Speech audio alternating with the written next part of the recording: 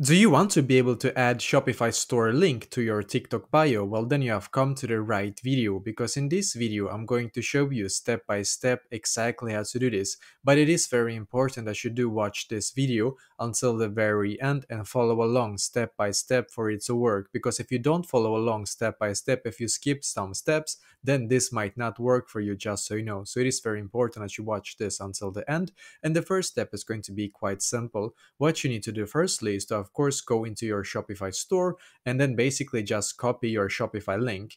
And basically, I don't really have a store right now, but I'm on the Shopify website as you can see. So I can just copy like some random link. For example, I can just copy this link right here. It doesn't really matter, right? Uh, as long as you have your Shopify store link, then there's no problem, of course.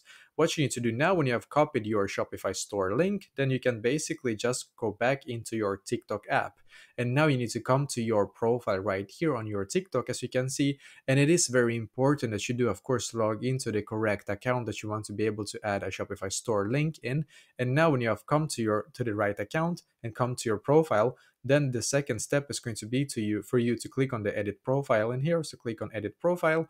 Now you should be taken to this page right here, as you can see. What you need to do in here is to just scroll down a little bit until you can get this website option in here. So click on the website option. And by the way, if you don't have this website option, then keep watching. I'm going to show you why that is. So in here, I'm just going to paste the link. As you can see now, I'm going to click on save in the top right corner.